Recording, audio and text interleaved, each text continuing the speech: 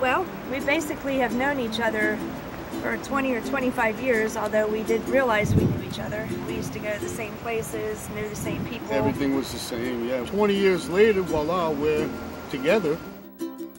They have a clinic that does um, research.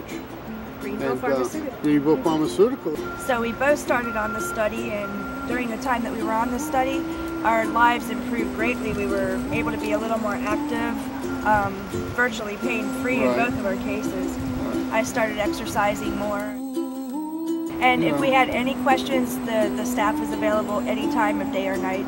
You know, and we did make quite a few Absolutely. calls for questions. Absolutely. We called at 2 o'clock in the morning and it was no problem. I wish my regular doctors were like they Yeah, were. I, would, I wish we had everything like that. Yeah. And we would recommend it to anybody. Absolutely. And we have. Yeah, we will too. Yeah.